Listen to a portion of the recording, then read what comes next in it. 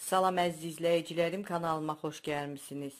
Bugünkü videomda cemli piroq hazırlamışam.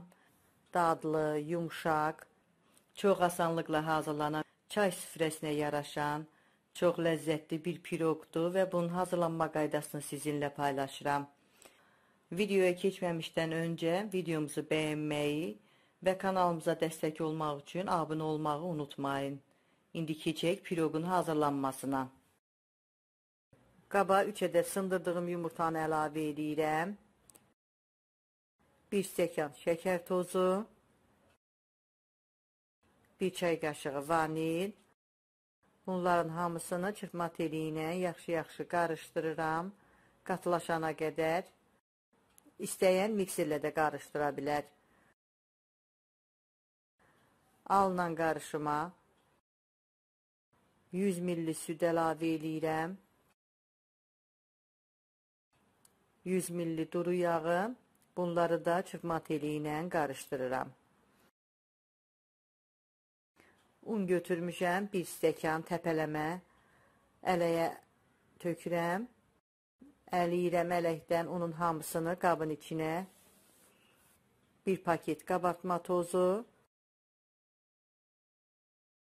Bunları da çırpma teli ilə yaxşı-yaxşı qarışdırıram. Belə bir qarışım alınır. Xəmirin çox hissəsini yağlı kağız sərdiyim formaya boşaldıram. Yəni, üçdə bir hissəni, bir hissəsinin üstü üçün ayırmışam. Formanın içinə yayıram. 180 dərəcəlik sobada 15 dəqiqə bişirirəm. Piroqum artıq 15 dəqiqədir ki, bişib, sobadan çıxartmışam. Cem götürmüşəm, şaftalı cemi. Cemi piroqun üstünə əlavə edirəm. Cemin hazırlanma qaydası kanalımda var. Linkini açıqlama bölümündə qeyd eləmişəm. İstəyən girib baxa bilər. Cemin hamısını üstünə əlavə edəndən sonra qalan xəmiri qalan xəmiri cemin üstünə yayıram. Hər yerinə cemin üstünü örtməlidir. Yenə sobaya yerləşdirirəm. 180 dərəcəlik sobada yenə 15-20 dəqiqə üstü qızarana kimi bişirirəm. Piroqum artıq bişdi, hazır oldu. Sobadan çıxartmışam. Üstü qızarıb, yaxşı da bişib. Qəlibdən çıxardıram. Kağızlarını açıram ki, tez soyusun. Çox yaxşı bişib. Qoyuram qalır, tam soyuyur.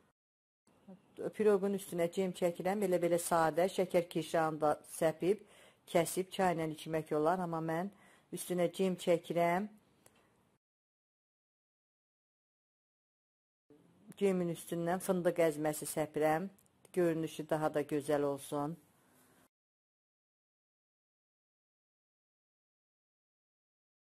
Piroqu evdə olan istənilən cemlə, istənilən mürəbbə ilə də hazırlamaq olar. Kəsək görək piroq necə alınıb. Çox yumşaq, ləzzətli cemli bir piroqdur.